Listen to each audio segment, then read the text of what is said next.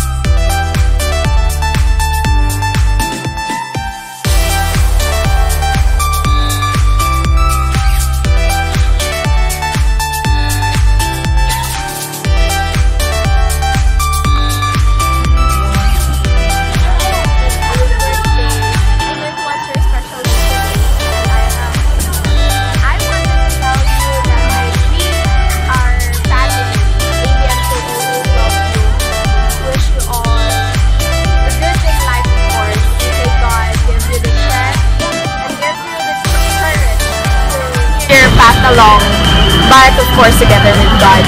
May your family be blessed always and always have faith to God. Happy 18th birthday. I love Birthday, God bless you! Yeah, happy birthday. Love you. Bye.